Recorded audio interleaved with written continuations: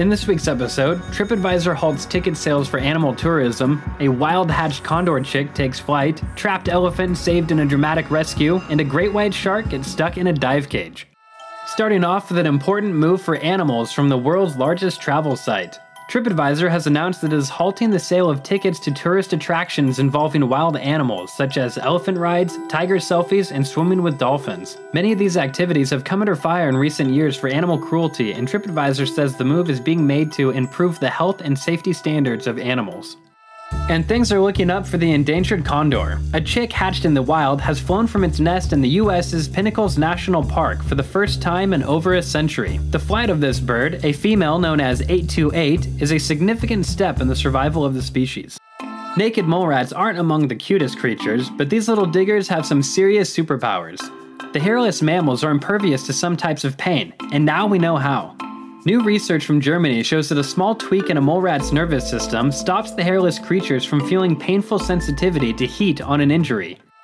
In more super cool science news, researchers have found a way to make silkworm silk stronger by feeding the silk spinning creatures graphene. The reinforced silk is twice as tough and can withstand at least 50% higher stress before breaking.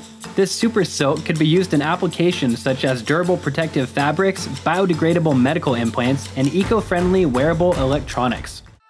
Off to China, where three Asian elephants spent two long days trapped in a 16 feet deep reservoir.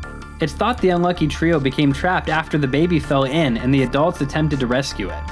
After heavy rainfall hampered their efforts, Forest Department officials were eventually able to free the elephants by using an excavator to dig out a path for them to escape by.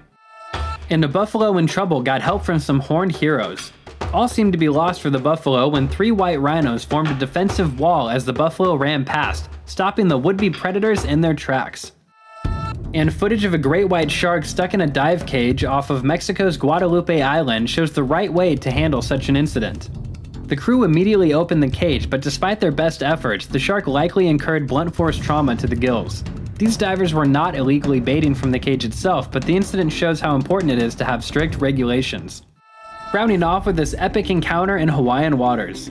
A couple of snorkelers found themselves a little too close for comfort in the middle of an intense fight between an octopus and a moray eel.